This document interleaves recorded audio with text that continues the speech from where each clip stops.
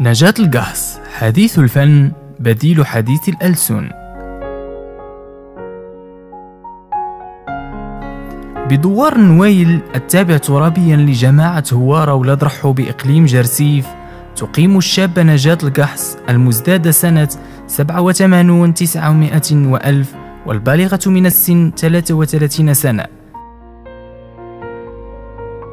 نجاة بسبب معاناتها مع الصم والبكم لم تتمكن من متابعة دراستها حيث ودعت الفصول منذ المستوى الأول ابتدائي. ورغم ذلك وجدت هذه الشابة ضالتها في الألوان حيث صارت الريشة هي لسانها ولعل ما يميز لوحاتها دقة تفاصيلها.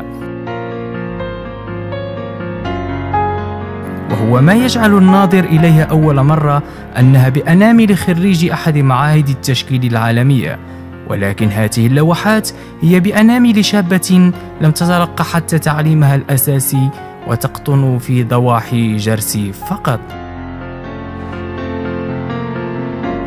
وإن الله لم يمكن نجاة من حديث الألسن وجعل حديثها أبلغ عبر الفن.